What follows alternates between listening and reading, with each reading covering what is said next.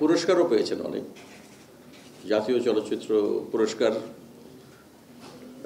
শ্রেষ্ঠ অভিনয়ের জন্যে শ্রেষ্ঠ পার্শ্ব অভিনেতার জন্য অভিনয় শিল্পী হিসেবেও পেয়েছেন, ফিল্মফেয়ারে পুরস্কার পেয়েছেন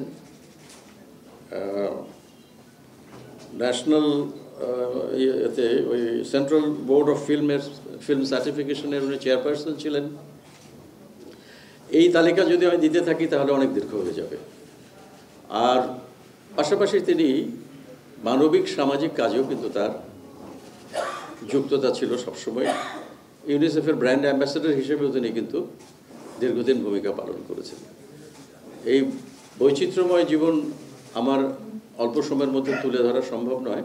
আমার মনে হয় আমরা প্রশ্নে প্রশ্নে জেনে নেব তার জীবনের সব কথাগুলো। তবে আপনাদের কাছে আমার একটা সবিনয় অনুরোধ থাকবে যে আমরা আমাদের প্রশ্নগুলো বা আলোচনাগুলো, তার যে সৃজনশীল জীবন, সেই সৃজনশীল জীবনের মধ্যেই সীমাবদ্ধ থাকবে। আমরা এমন কোনো প্রশ্নে যাব না, যেটি আমাদের হয়তো বিব্রত করতে পারে।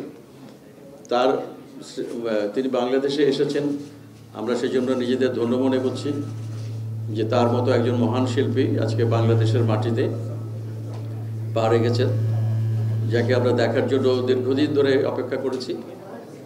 তো তাকে আমরা আজকে বাংলার মাটিতেও স্বাগত জানাই। এই প্রসঙ্গে খালি একটু বলে রাখি আপনার জানার জন্যে যে সত্যজিৎ রায় যখন প্রথম বাংলাদেশে আসেন, তিনি নানা অনুষ্ঠানের মধ্যে একটি অনুষ্ঠান করেছিলেন। সেটা হলো পল্টন ময়দান বলে একটি জায়গা ছিল, এখন আর নেই। এটা তখন বড় বড় রাজনৈতিক জনসভা ওখানে হতো। তো একটা দাবি উঠল যে জনসাধারণের তাকে দেখতে চান। তো তাকে দেখানোর কি উপায়?